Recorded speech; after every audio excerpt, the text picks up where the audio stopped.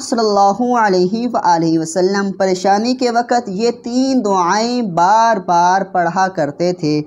آپ پر بھی جب مشکل وقت آئے، پریشانی آئے، کوئی مصیبت آئے، تو آپ نے ان تین دعاؤں کو بار بار پڑھنا ہے۔ انشاءاللہ، اللہ رب العزت ان دعاؤں کی برکت سے آپ کی پریشانی کو ضرور دور فرما دیں گے۔ انشاءاللہ، دعا کیا ہے؟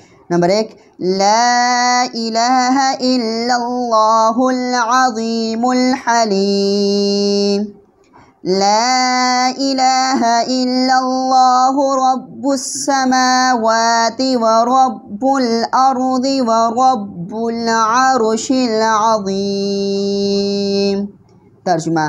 اللہ کے سوا کوئی معبود برحق نہیں، جو بہت عظمت والا اور بردبار ہے۔ اللہ کے سوا کوئی معبود برحق نہیں، وہ زمین، آسمان اور عرش عظیم کا رب ہے۔ نمبر دو، لا الہ الا انت، سبحانک، انی کنت من الظالمین۔ ترجمہ، الہی تیرے سوا کوئی الہ نہیں، تو پاک ہے، بے شک میں ہی قصور وار ہوں۔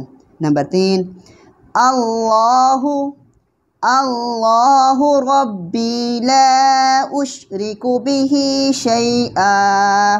ترجمہ، اللہ، صرف اللہ ہی میرا رب ہے، میں نے اس کے ساتھ کسی کو شریک نہیں کیا۔ اللہ تعالیٰ سے دعا ہے۔ اللہ تعالیٰ ہم سب کو ان دعاؤں کو مشکل وقت میں بار بار پڑھنے کی توفیق عطا فرمائے اور ہم تمام مسلمانوں کی پریشانیوں کو دور فرمائے۔